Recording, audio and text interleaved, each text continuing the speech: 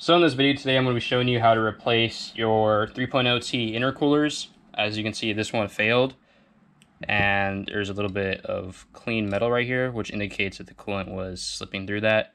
With this brand new intercooler, that should probably last the life of the car. You're going to want to replace these in pairs because eventually your other intercooler will fail because you have a newer one on, and I think the path of least resistance is going to be taken. Um, so your other intercooler will end up failing and this one will end up lasting a lot longer. The tools you'll need to complete this job is of course your intercooler that does come with the gasket for the rear, a flathead screwdriver, the smaller the better, a T30, usually 3 inch drive, a T25. I recommend one of these longer ones so you get into the tighter space of the water pipe, and 1 4 ratchet, an intercooler gasket. These are kind of expensive, but I'll link them down below where you can get them cheaper. A rubber mallet, a 3 8 inch drive, one of these pick tools with a 90 degree, and a water pipe O-ring. You're gonna need four of these. So here I'm on the side of the supercharger close to the throttle body. So I can get access to these four bolts that we need to take off right here. They're all T30s. So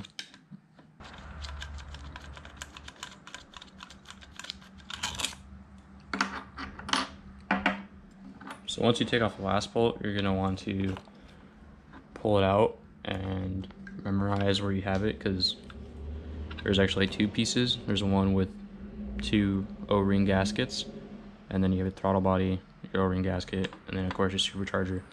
Um, you could replace these O-rings if you like. I don't, I'm not gonna replace them because the only thing that goes through it is air. So I don't really feel a need to replace it. If you look, it looks kind of brand new. So it's not that bad remember where you have this because you, you can't really put it like this. So there's going to be two holes where you can put those two prongs in, like so. But you can just toss this to the side right now.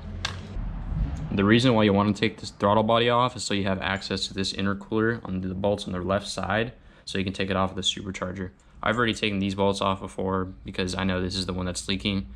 Um, I'm going to show you how to take off the bolts on that side, and then we're going to move to the front so you can take off the water pipe. All right, now that we're on the back still, um, take off these six T30s.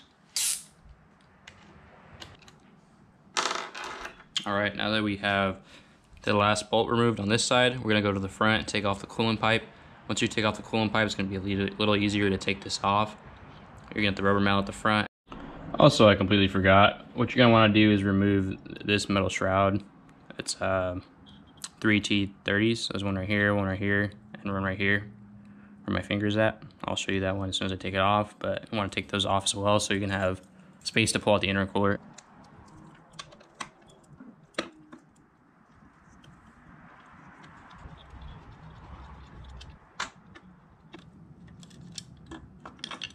As you can see, just pops right off. Just put this to the side and continue with our intercooler removal process. So now we move to the front of the supercharger. You're gonna have to remove this water pipe in order to get access to your intercoolers. So there's three T25s on the right side and there's also three T25s on the left side as well. This is where the long T25 comes in handy. So you can reach into the hard to reach places like so and you can take it out. Later on when you torque the bolts, you'll have an easier time accessing that.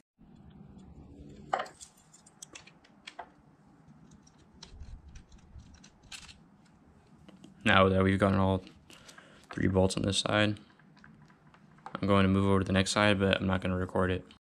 Okay, now that we have removed both the front bolts holding it and the rear bolts holding the intercooler, you want to take a rubber mallet just lightly tap it back.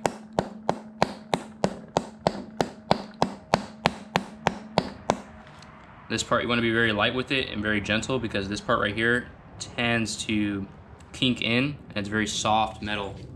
So it's going to be a little harder for you to push this out. If you're just testing the intercoolers and you don't know if that's actually the problem, be very gentle on this part because if you mess this up, you're going to have to buy new intercoolers. All right, and since you've rubber mallet the front, all we want to do is going to take a flathead screwdriver and just start edging around it.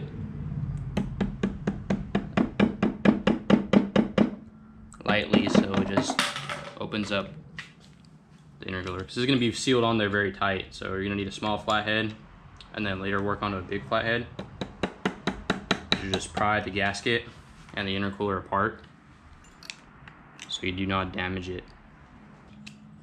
Now the gaskets fell under. That's great. Just continue working yourself around till all points are loose. Then later on, you're gonna move back up to the front and just uh, finish it off with a rubber mallet.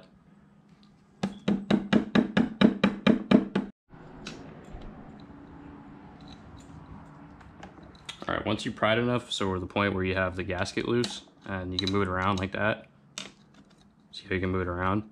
It's pretty much loose from the back. So what we wanna do is go back to the front end and take a rubber mallet and just keep hitting it until this comes out.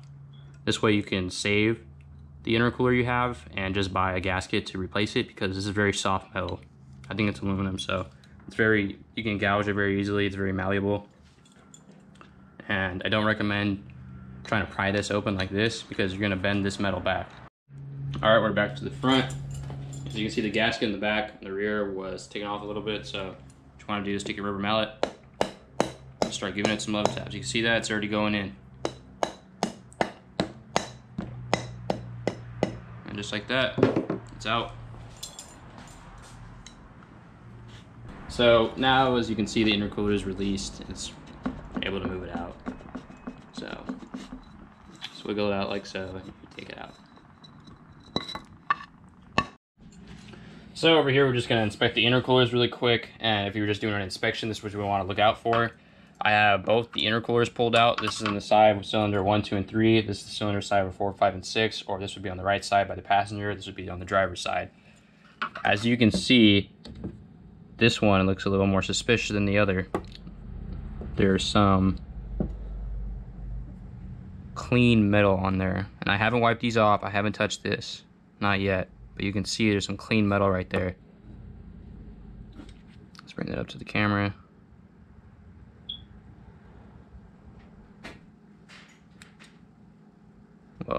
While as this one right here, one from cylinder 4, 5, and 6, does not have any clean metal on it. It has just a little bit small speck. So you can see what happened to the intercooler.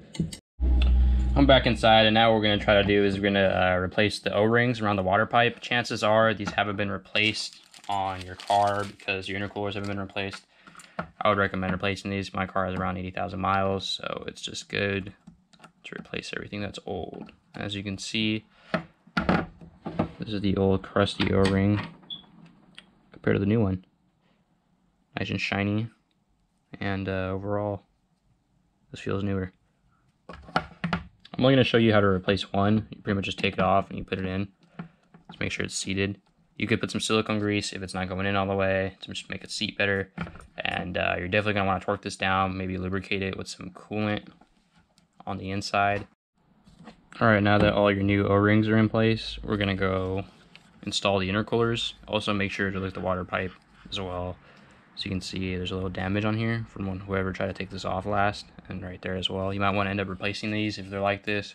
It's not as bad and I think I'm just going to roll with this because I haven't had a coolant leak on this. Alright, now we're back to the front of the supercharger and as you can see there's a gasket around the supercharger. So what you want to do is take one of these pick tools and take that out. As you can see it's kind of nasty in there. So you probably should replace these if you don't and you end up having an air leak or a boost leak. It sucks for you, but okay, like so. And you want to clean this area up, probably some degreaser or, or some uh, rubbing alcohol, just to make the mating surface clean. All right, once you're done cleaning the mating surface as best as you can, you're going to want to reinstall this O-ring with a new one.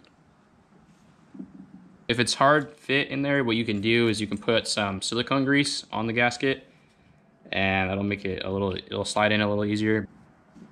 Slides in there pretty easy. And as you can see, there's a little bit of a, lip between this right here and that. That's perfectly fine. That's because the old one used to have that, but it's just been stretched out and used. So definitely replace these because if you don't, you're gonna have an air leak. Now what you wanna do is you're gonna wanna take your intercooler and just slide it in like so.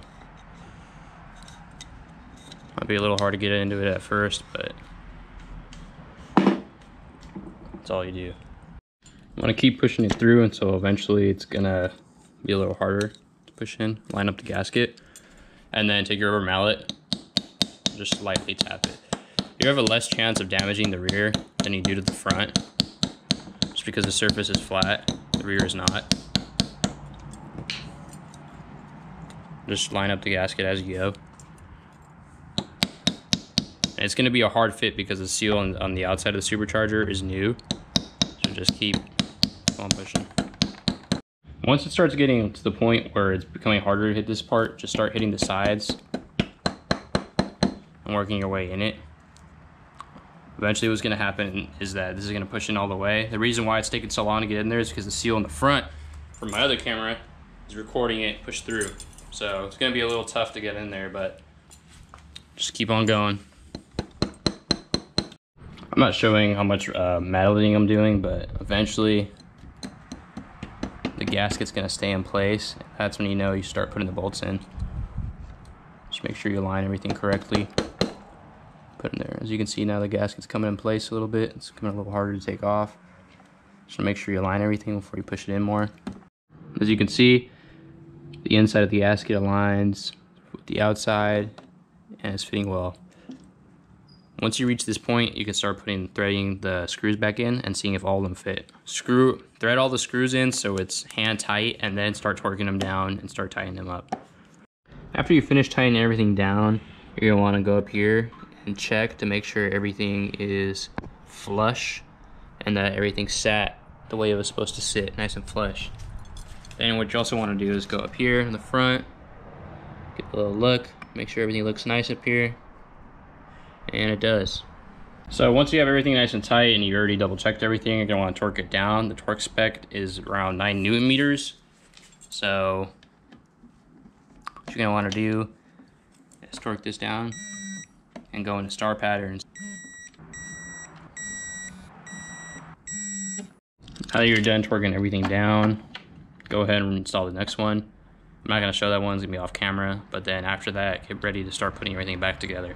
As you can see, we have now torqued down the left and the right side of the intercoolers onto the supercharger. So now what we're going to do is we're going to put the shroud back on and the throttle body and torque it down. After that, we're going to go do the water pipes and torque the water pipes down as well. So now what we're going to do is we're going to take the shroud back and put it in place, as well as take three of the T30 bolts and just tighten them back together. So the third bolt that's on the shroud is right here, right next to the rubber grommet onto my right. And all you're gonna do is just tighten these down so this is nice and snug. All right, we're back to the side where the throttle body is located and hopefully you still have it arranged correctly. I do here. You'll see these, this point right here should line up to that hole down there. There's another one up here. This point should line up to that hole in there.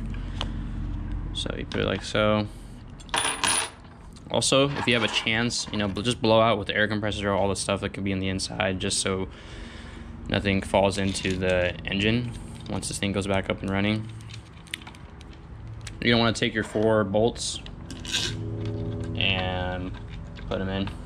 So once you're done tightening these four bolts, the torque spec is 10 newton meters. If you don't have a newton meter torque wrench, then just look it up online. Just make sure to tighten this in a star pattern. And now what we're gonna do is we're gonna install the coolant pipes on the front and torque them down as well. All right, now that we're back up in the front, what you wanna do is put the coolant pipe back together and start putting some bolts in. Uh, what I recommend doing, as usual, hand tying the bolts just a little bit on each side. You're gonna have six bolts. I'm reusing the old ones because they're not in bad shape. One of them is a little stripped, so it's gonna be a little harder to put it back in.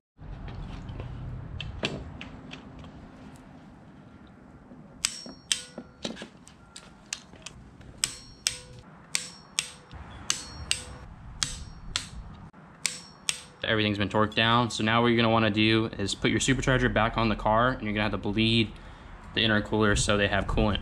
Before you do that, you wanna make sure you've tightened down everything, look at all your connections, make sure everything's tightened down, everything's spec, you have no extra bolts.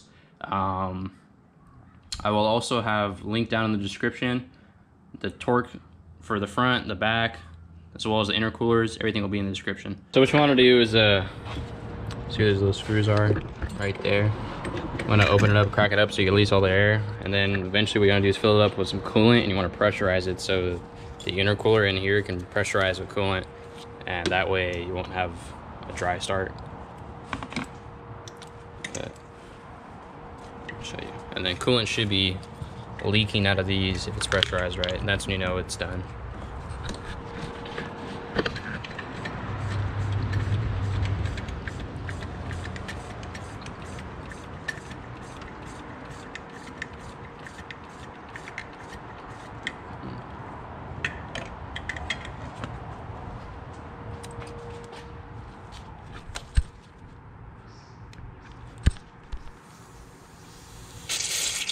All right.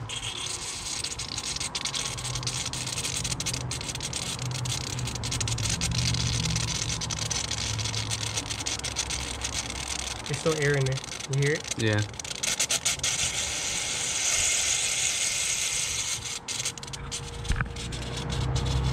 Is there enough coolant? Yeah. Back down to low. Yeah, it's going down. Alright. So as you can hear there, and you might spill a lot of coolant. Actually, not even might, you will spill a lot of coolant everywhere. But you want to make sure that you pressurize it and you get out the air. So now what we're doing is we're repressurizing it so that we can have pressure and we're to open this up, let out all the air, and you are to drain a lot of coolant in this area, but it should burn off once you turn on the engine and drive it around for a little bit. So don't be surprised if you have white smoke coming from the engine bay.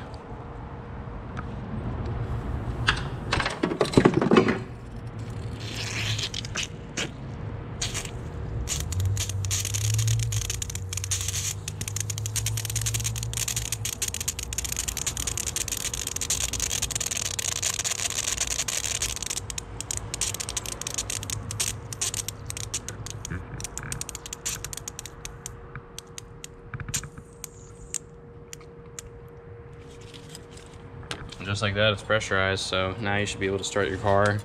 And that's how you change the intercooler on a 3.0T. Any words to say there, mechanic? No? Rate, comment, subscribe. Any feedback's appreciated so I can make better videos or get a new camera. So just let me know.